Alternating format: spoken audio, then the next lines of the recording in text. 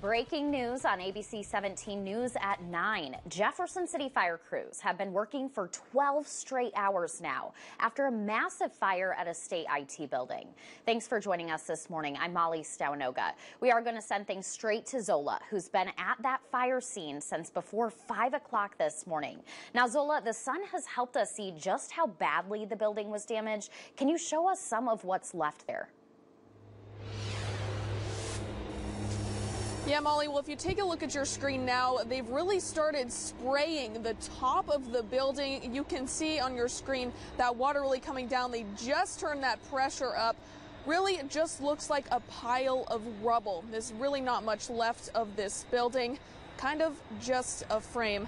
Now, we spoke with officials overnight who said a lot of people are going to lose or have lost something from this fire.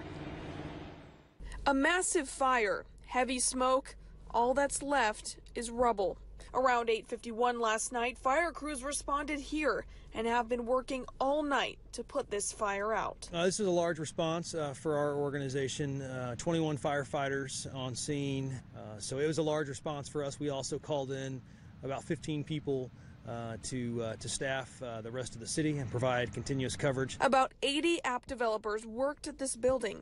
That means lots of equipment. Because we have some of our high-end developers there, that means there's a lot of very expensive um, computer equipment, um, workstations, double monitors, those kinds of things. Officials say this could have caused the smoke to be toxic. There was a large amount of uh, computers, servers, um, various um, processors, microchips, things like that in the building uh, that would also contribute to the toxicity of the smoke.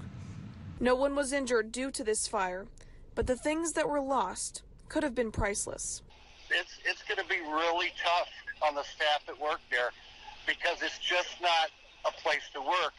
There's a lot of uh, uh, friendships and all kinds of things that are are, are developed in, in with their with their coworkers and a lot of that has gone up in flames.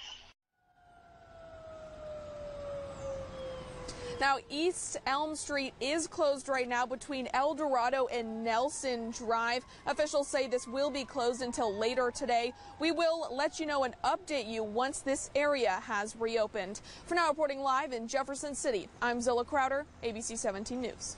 Zola, thank you so much. Right now, we don't know what caused this fire, but the state fire marshal is investigating, and we'll update you as soon as we learn more.